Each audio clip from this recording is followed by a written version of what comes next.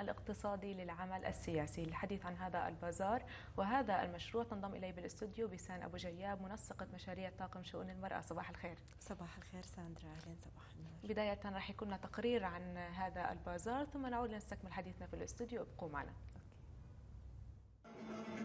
بازار منتجات نساء بلدي ضمن مشروع التمكين الاقتصادي للعمل السياسي تم افتتاحه من قبل طاقم شؤون المرأة. بالشراكة مع مؤسسة دياكونيا. يعني بالتأكيد اليوم نشهد بازار فلسطيني وطني مميز. نشهد فيه اليوم مجموعة من التعاونات النسائية والتعاونات الشبابية التي هي بالتأكيد تحاكي تراثنا الفلسطيني المندثر الذي أصبح يعني مغيب عن الجيل الفلسطيني الحديث. الآن نشهد الكثير من الأعمال اليدوية الخاصة الأعمال النسائية الخاصة بالأكل والطعام القديم الذي أصبح أيضا لا يعرفه به الجيل القديم المشغولات اليدوية من أتواب الفلسطينية التي تحاكي كل المدن الفلسطينية. نشهد أيضا مجموعة من التعاونيات التي أصبحت يعني تخلق فرص عمل جديدة للنساء وللشباب وللأسر الفقيرة. المرأة نصف المجتمع. فإن أثبتت المرأة نفسها استطاعت أن تربي أجيالا قوية قادرة على نقل قضيتها. وهذا ما هدف إليه البازار. إحنا يعني النساء عندنا الحمد لله رب العالمين إنه هو في عندهم موهبة التطريز موهبة الأشغال اليدوية كلها بال يعني حاجات يدوية بيعملوها. فهذا الإشي بعزز فيما بعد لقدام. حتى بالدول الثانية لما تشوف مشغولاتنا مش أي دولة طبعا بتعمل هذه بس موجود عندنا هذا الإشي. وإحنا حابين يعني إنه إحنا نبرز للعالم كله شو إحنا بنعمل وشو إحنا أصلا يعني إيش إمكانياتنا؟ الحمد لله إمكانياتنا فائقة بس بدها حدا يعني يتبناها. فعاليات وأنشطة تخللت البازار حيث الدبكة الشعبية والفلكلور الفلسطيني عدا عن المأكولات والمطرزات التي نسجت بأيد فلسطينية لنساء فلسطينيات. هي محاولة رائعة لتمكين المرأة الفلسطينية اقتصاديا في المجتمع من خلال تعزيز التراث الفلسطيني وإثبات هويته. لبرنامج فلسطين هذا الصباح أسماء الودية غزة. عودة مجددة أعزائي المشاهدين نستكمل ما تبقى من فقرتنا لهذا الصباح مع الأستاذة بسان أبو جياب. بداية يعني نحكي شوي عن مشروع التمكين الاقتصادي للعمل السياسي الذي نظم من خلاله هذا البازار. طاقم شؤون المرأة ينفذ مشروع التمكين الاقتصادي للعمل السياسي بالشراكة مع مؤسسة دياكونيا للسنة الرابعة على التوالي. من خلال هذا المشروع نستهدف الجمعيات التعاونية النسوية بالذات التي ترأسها نساء. من خلال تمكين النساء بعدة برامج لها علاقة بتمكين وبناء قدرات من أجل إدماج النساء في الحياة السياسية. حيث أن من رؤية طاقم شؤون المرأة وأهدافه هو تمكين النساء اقتصاديا وسياسيا واجتماعيا من أجل تعديل الأدوار النمطية التي يحصرها المجتمع فيها ولجهة التعددية والشراكة بين المرأة والرجل وإرساء مبدأ الشراكة والتعددية بين المرأة والرجل. من خلال هذا المشروع قام طاقم شؤون المرأة بتنفيذ عدة برامج لها علاقة بتمكين وبناء قدرات من موضوع التمكين الاقتصادي من خلال مهارات التسويق تحديد الاحتياجات السوق المحلي إدماج النساء في تحسين منتجاتهم في السوق المحلي من أجل أن تنافس المنتجات المتواجدة في السوق من خلال المنتج الذي هو يصنع بأيدي نسوية بامتياز.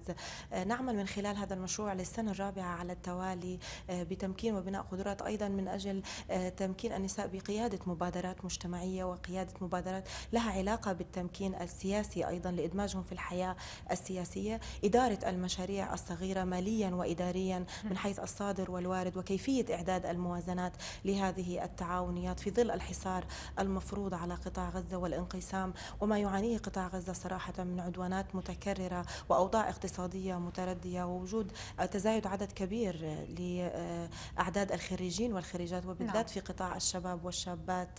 لذلك هدف طاقم شؤون المرأة من خلال هذا المشروع على التكريس والتأكيد على أهمية إبراز وإدماج دور المرأة في سوق العمل وأن تكون شريكة للرجل وأن تكون من الرياديات الأعمال في المجتمع الفلسطيني. نعم. نتحدث طيب عن طبيعة هذه المنتوجات التي عرضت بهذا البازار.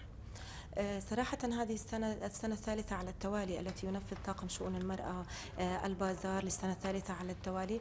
المنتجات لها علاقة بموضوع التطريز التصنيع الغذائي الأكلات الفلسطينية الشعبية القديمة والحديثة أيضا وأيضا لها علاقة بموضوع الحرفية والمطرزات الحديثة.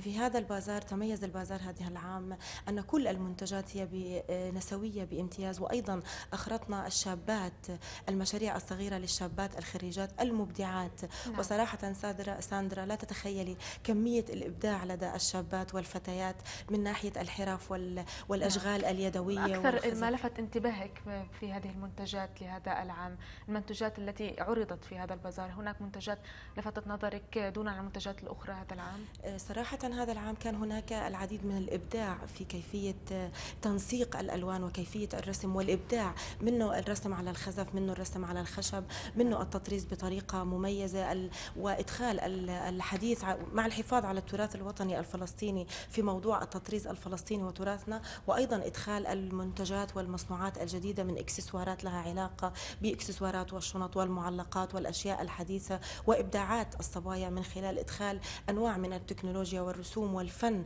والنقش بهذه المواضيع نعم. لذلك نحن في خلال هذا المشروع وهذا البازار عمدنا على أيضا إدماج الشابات وتشجيع المشاريع الصغيرة من أجل أيضا حشد الدعم أيضا لهم من المؤسسات الدولية المانحة وأيضا الجهات الرسمية. من أجل أخذ بعين الاعتبار أهمية آه، لفت الانتباه إلى الجمعيات التعاونية النسوية بالذات التي ترأسها نساء والاهتمام فيهم من ناحية الإجراءات الرسمية والقانونية أيضا وإقرار قانون التعاونيات لحماية هؤلاء النساء وحماية حقوقهم في ظل سوق العمل أكيد. يعني بالحديث عن هذا البازار وهذا المنتجات هذه المنتجات الكثيرة في البازار كم استغرق منكم وقت التحضير لهذا البازار؟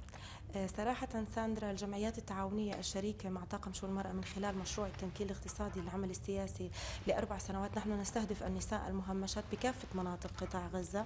النساء التي تعيل أسر أيضا وهي تعيل أسر من أجل تحقيق إنعاش اقتصادي لهذه الأسر وتحكين وتحقيق التمكين الاقتصادي. وفعلا هناك ساندرا العديد من قصص النجاح التي شكلت خلال فترة تنفيذ المشروع من خلال آه، النهوض بواقع هذه التعاونيات. من خلال البرامج التي قدمها طاقم شؤون المرأة من باب الدعم وتمكين النساء من النواحي التمكين الاقتصادي وتحديد احتياجات سوق العمل وكيفية تطوير حتى المنتجات بشكل عملي ومهني لتنافس نعم. المنتجات ما أكثر ما لفت انتباهك في الحديث عن موضوع اللي هو أكثر يعني شيء لفت نظرك بحاجة له النساء هنا في قطاع غزة؟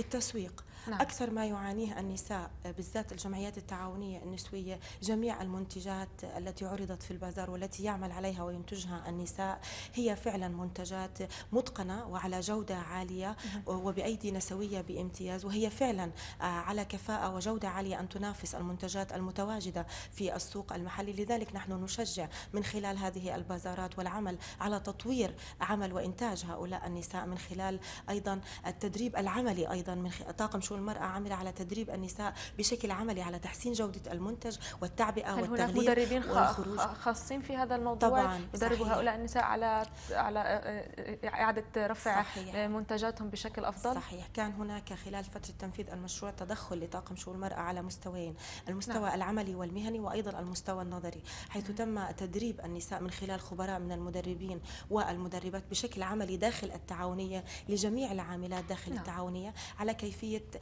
تحسين المنتج تطوير المنتج وأيضا كيفية إدخال المواد الصحية في المنتجات لمرضى السكري ومرضى الضغط.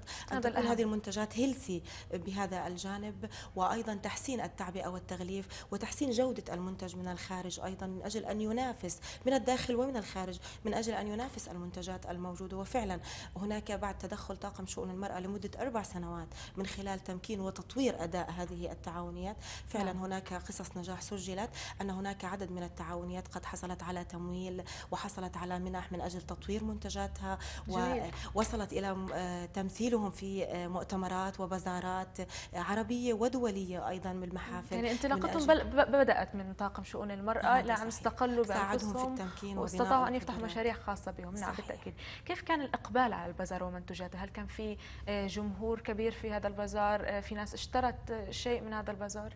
صراحة ساندرا خلال فترة التحضير نحن منذ أشهر ونحن نحضر لهذا ولم يأتي توقيت هذا البازار آه، صراحة هو عبثا أو شيء.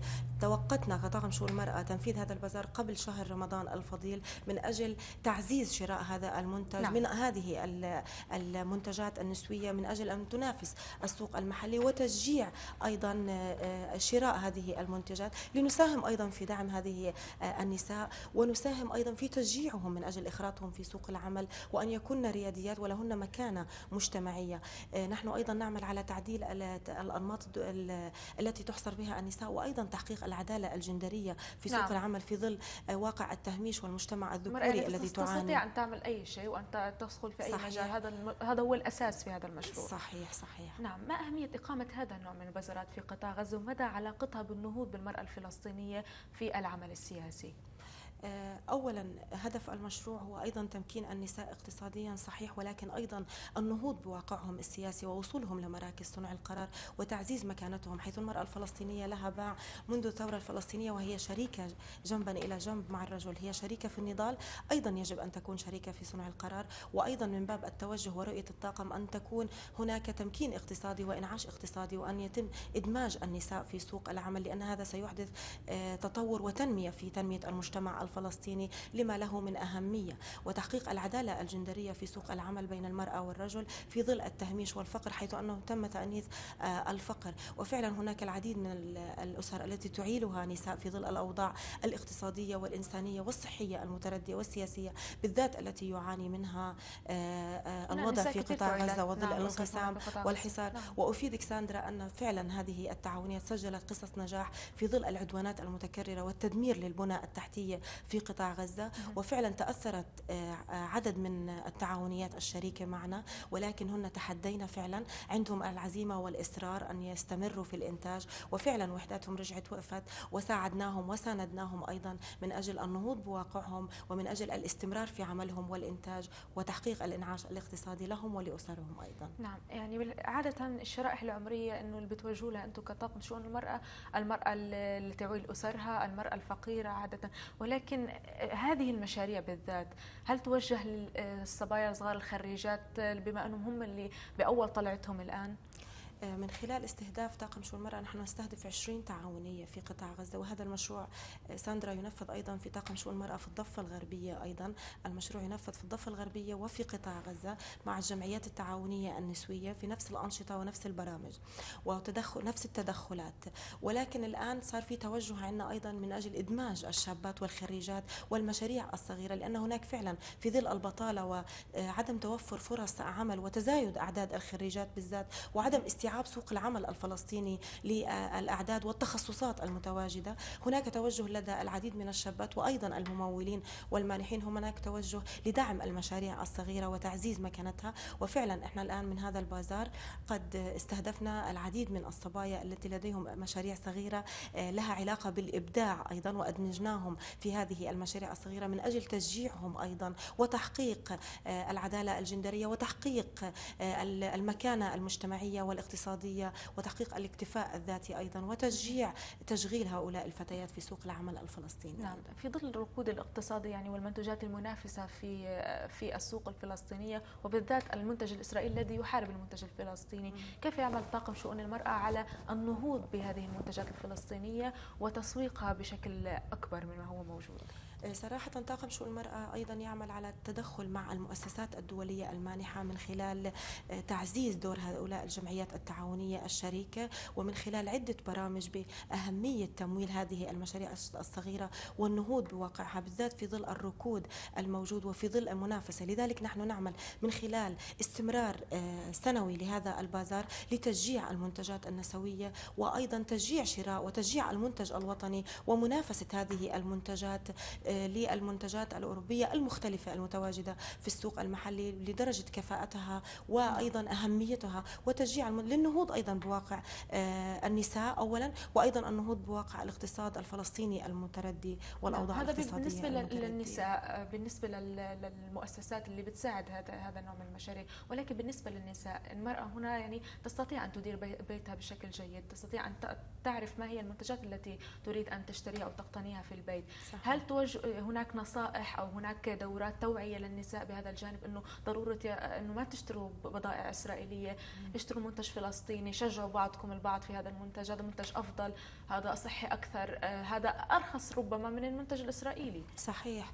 آه، فعلا المرأة هي التي تتحمل الأسرة والتي آه، تكون قائدة الأسرة في البيت. فعلا هناك توجه وهذا وعي وثقافة على فكرة. مقاطعة المنتجات الإسرائيلية تأتي من الوعي من الأسرة الوالد والوالدة اولا. وفعلا هناك نشر للوعي والآن أصبح في هناك زيادة في الوعي من أجل محاربة المنتجات الإسرائيلية والأوروبية المختلفة المتواجدة في السوق المحلي وتشجيع المنتج الوطني وبالذات المنتجات الوطنية التي يرأس يقوم بإنتاجها النساء والتي تحتوي على جودة عالية وكفاءة عالية وإنتاج وأيضا أسعار منافسة ساندرا في السوق حيث أسعار المنتجات النسوية هي بسعر أقل من المنتجات المتواجدة وبجودة أعلى وأفضل. ومن باب التشجيع من أجل تحقيق الاكتفاء الذاتي لهؤلاء النساء وإعالة أسرهم في ظل الأوضاع الاقتصادية المتردية في هذا آه، الجانب. وبالفعل هناك زاد الوعي بهذا الجانب وهناك فعلا تشجيع حيث بالأمس كان في البازار العديد من أصحاب المولات التجارية وجهنا لهم الدعوة ومشكورين فعلا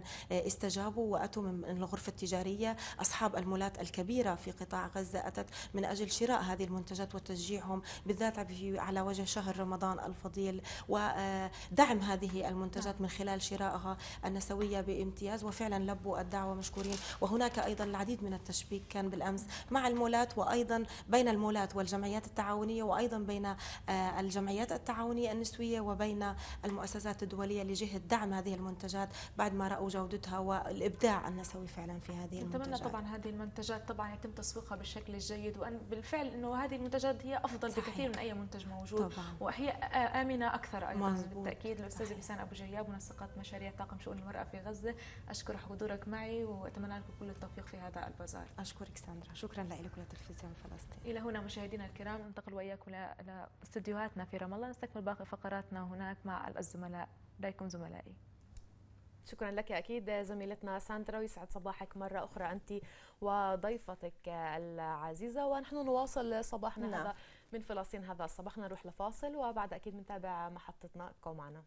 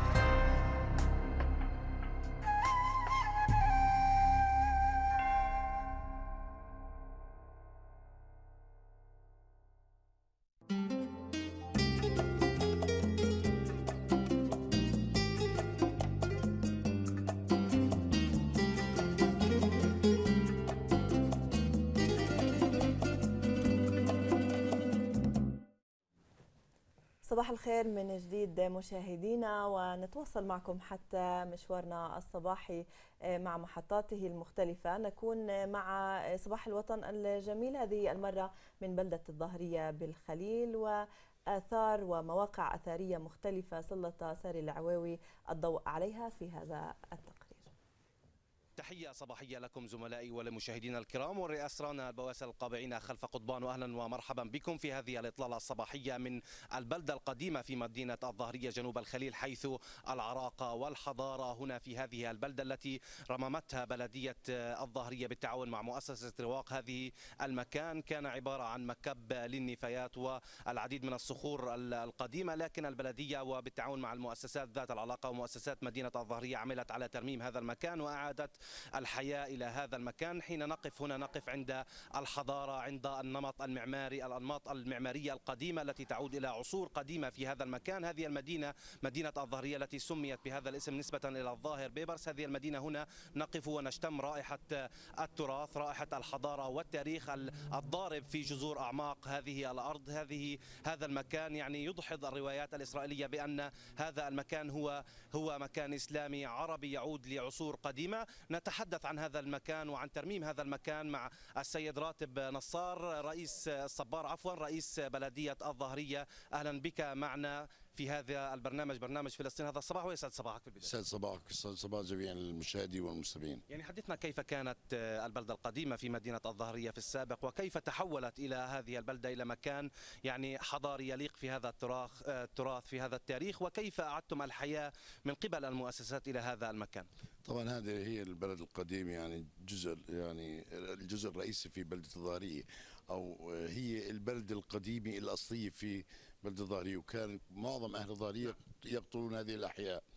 طبعا مع مرور الزمن والتوسع العمراني انتشر انتشرت نعم. الأهالي انتشروا في أماكن عديدة من نواحي في البلدة. ومن ثم أصبحت تهجر شيئا فشيئا وأصبحت مهجورة للأسف.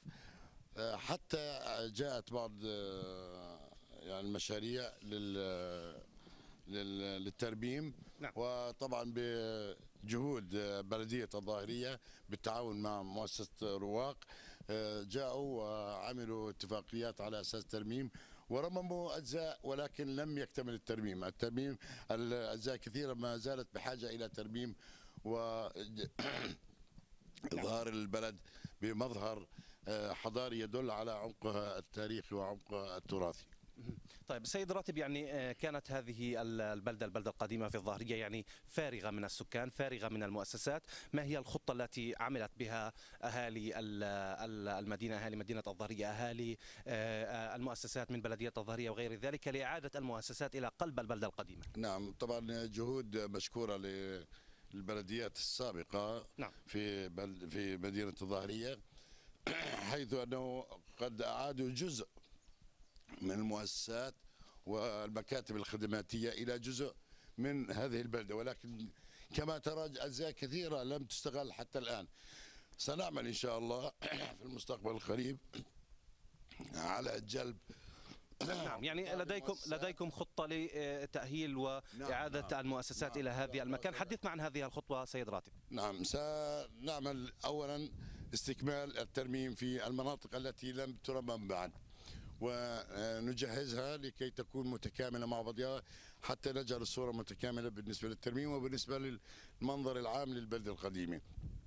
ثم نعمل برنامج لعمل زيارات ميدانية للمؤسسات ولرؤساء المؤسسات حتى نطلعهم على أهمية هذه البلدة وجلب جلبهم ومساعدتهم للقدوم للبلدة واستغلال كل جزء فيها حتى نبعث الحياة من جديد في هذه البلدة. أشكرك السيد راتب رئيس بلدية الظهرية على هذه التفاصيل، اذا هنا في هذا المكان نشتم كما ذكرنا رائحة التاريخ، رائحة الحضارة، رائحة الآباء والأجداد في هذا المكان، هذه المنطقة مشاهدينا الكرام هي مركز تجاري هام لمحافظة الخليل حيث أنها تربط يعني النقب الصحراوي بمحافظة ومدينة الخليل، نتحدث عن الوضع الاقتصادي في البلدة القديمة مع الدكتور جلال المخارزي وهو رئيس غرفة تجارة وصناعة جنوب الخليل، أهلا بك معنا دكتور في هذه التغطية وبرنامج فلسطين. هذا الصباح ويسعد صباحك. صباح الخير لك ولكل المشاهدين الكرام.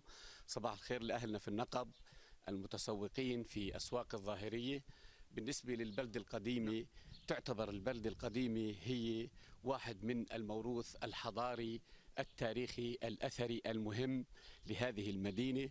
وبعتقد أنه من الناحية التجارية لابد من تنشيط السياحة إلى هذا المكان. إحنا في الغرفة التجارية عاملين برنامج تطبيق آه، اسمه دلني وهذا البرنامج سوف آه، يأتي على الخارطة من خلال برنامج ال GIS والوصول إلى الأماكن الأثرية في الظاهرية بشكل شخصي من خلال تطبيق موجود على جوجل أو على البرامج والموجودة على هذا هذا على الهواتف الذكية والهواتف النقالة. نعم يعني آه، آه، يعني دكتور جلال يعني كمان تحدثنا عن الوضع الاقتصادي. كيف كان الوضع الاقتصادي في السابق وهذا المركز سوق يعني تجاري هام لمحافظه آه، الخليل حيث كما ذكرنا يربط الجنوب بالشمال. يعني كيف الآن بعد ترميم هذه البلدة القديمة وكيف هي خطتكم في الغرفة لتطوير هذا الوضع الاقتصادي؟ يعني باعتقادي إنه الظاهرية كان سابقا تقوم على سوق بدائي آه، يعتمد على الزراعة بشكل خاص ويعتمد على المنتجات وتسويقها هاي المنتجات الزراعية البسيطة. أما الآن فهو سوق واسع ومتعدد وفي إمكانيات هائلة آه، جدا. وباعتقادي أنه آه، يمكننا تطوير هذا السوق بحيث يصبح جاذب أكثر ولابد من توفير بعض النشاطات مثل يعني وجود آه، مكان للراحة والنوم آه، نعم. يعني فندق أو هوستل آه، كثير من الأشياء المطلوبة في تنظيم هذا السوق بتوفير الخدمات توفير الكراجات توفير الإمكانيات من مطاعم من خدمات سياحية قادرة على الاستجابة لمتطلبات السياحة أيضا في عندنا شيء مهم وهو السياحة الصحية أو ما اصطلح على تسميته نعم. وفي الظاهرية بالذات هاي المنطقة تتمتع بمناخ جاف. هذا المناخ الجاف آه، يعني مناسب لكثير آه، من الناس الذين يعانون بعض الأمراض مثل أمراض الأسمة ويمكن جلب سياح من الدول الإسكندنافية أو الدول الأوروبية للبقاء في هذا المكان. وهذا سينعكس على صحتهم بشكل إيجابي. أيضا هاي منطقة فيها مناظر طبيعية وفيها أيضا مواقع سياحية أخرى مثل عنابل كبيرة اللي فيها آه، أيضا آه، يعني كنيسة كبيرة.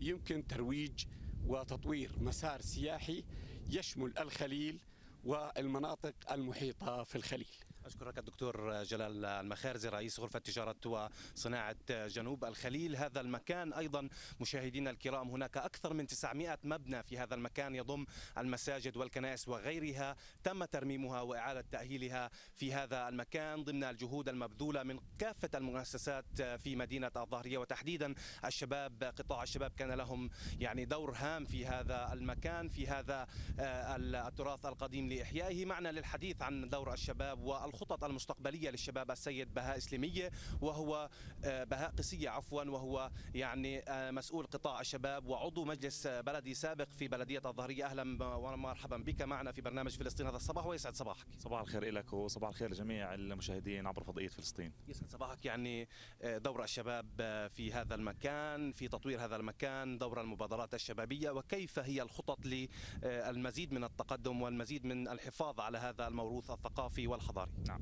يعني آه، حقيقة في البداية آه، أنا بحب أنوه موضوع كثير مهم أنه آه، عملية إحياء البلد القديمة ليس فقط بموضوع الترميم. نحن تم ضخ ملايين الشواكل في هذا المكان ولكن الأهم من هذا الموضوع أنه كيف سيتم استغلال إعادة ترميم هذه المباني في خلق حياة داخل هذه البلدة القديمة. لا يكفينا أن نقول أن هذه البلدة تم ترميمها. يعني أنا بصفة عضو مجلس بلدي سابق وكنا متابعين لهذا الموضوع نعم. وقطاع الشباب الكل يطمح إلى أن نرى حركة سياحية في هذه البلدة القديمة. مع الأسف أنه أنا كمان من خلالكم من خلال تلفزيوننا الوطني بحب نوصل رسالة كمان لوزارة السياحة أنه هذا المكان هو يشكل 2.5 من الموروث الثقافي الحضاري الفلسطيني وبمعنى وبمعنى أن يجب العمل على إحياء هذا المكان من خلال مبادرات شبابية من خلال مبادرات شبابية من خلال العمل على احيائه من خلال إعادة إحياء السوق القديم في هذه في, في هذا في هذا المكان. وبالتالي نحن كقطاع الشباب نطمح أن يكون في هناك تعاون ويكون في هناك دعم للعديد من المشاريع التي تمس قطاع الشباب من خلال إعطائهم محلات ربما تكون مجانية إعفائهم من بعض الرسوم المطلوبة للبلدية من خلال فتح تخصصات معينة أو محلات معينة ذات طابع آه، كل له علاقة بتخصصه وبالتالي نعمل على احياء هذه البلدة القديمة. المكان الآن اللي إحنا واقفين عليه هذا المكان يوجد به غرف جاهزة تحمي مطبخ صغير تحوي على شاورات تحوي على على أيضا مكان للنوم وبالتالي مطلوب الآن فعليا. حتى لا نقول إنه إحنا ضخينا مليين الشواكل هدرا مطلوب إعادة إحياء هذه البلدة القديمة مطلوب من البلدية الجديدة والغرفة التجارية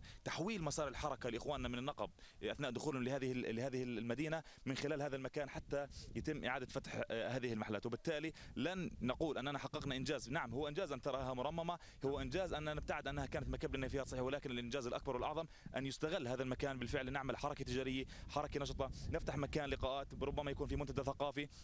وبالمناسبة في هناك إحنا عمالنا شغالين على إنه نعمل ملتقى شبابي في الظاهرية إيه، سنتخذ من هذا المكان مقرا له. هذا الملتقى سيجمع الشباب من كل هذه المدينة لعمل مبادرات ولمساعدة المؤسسات والوقوف إلى جانبها كقطاع شبابي مهم داعم لأي نشاط بتم العمل عليه داخل هذه المدينة. أشكرك على هذه المشاركة ويسعد صباحك مشاهدينا الكرام. إذا أنماط معمارية رائعة في هذا المكان يعني أهالي الظاهرية يسعون لتطوير هذا المكان والحفاظ عليه من آه، آه، الاندثار كما ذكرنا هنا رائحة الأجداد والآباء نشتمها وإحنا ونحن نقف في هذا المكان. نتمنى يعني التطوير بشكل أكبر كما تحدث لنا السيد قيسية من خلال الشباب ورابطة شباب الظهرية للحفاظ على هذا المكان وهو رد واضح للإجراءات الإسرائيلية الهادفة لطمس الهوية العربية والإسلامية في كافة أرجاء الوطن. مشاهدينا الكرام إلى هنا نكون. قد وصلنا إلى ختام هذه الفقرة المسجلة من مدينة الظهرية ومن البلدة القديمة. نكون بهذه اللحظة. نعود وإياكم إلى الزملاء في استديوهاتنا في مدينة رام الله. أشكركم على طيب المتابعة وفي أمان الله. نعم زميلنا ساري العوابي شكرا لك على هذه الإطلالة الصباحية والتي كنت فيها في فقرة مسجلة من مدينة الظاهرية. ونحن نواصل نعم. هذه التغطية الصباحية. ومباشرة سنكون نورا في هذا الصباح مع استوديو الأخبار وتحديدا لنقل وقائع زيارة الرئيس الأمريكي دونالد ترامب إلى بيت لحم.